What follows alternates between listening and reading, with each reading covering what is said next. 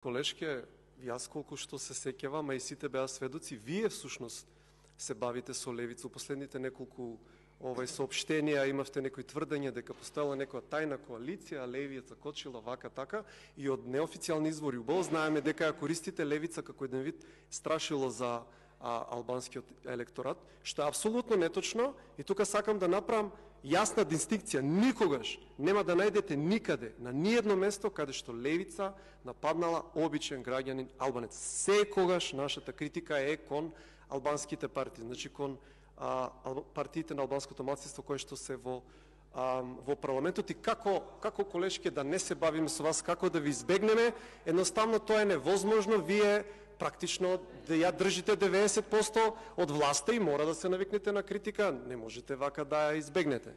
Ви благодарам.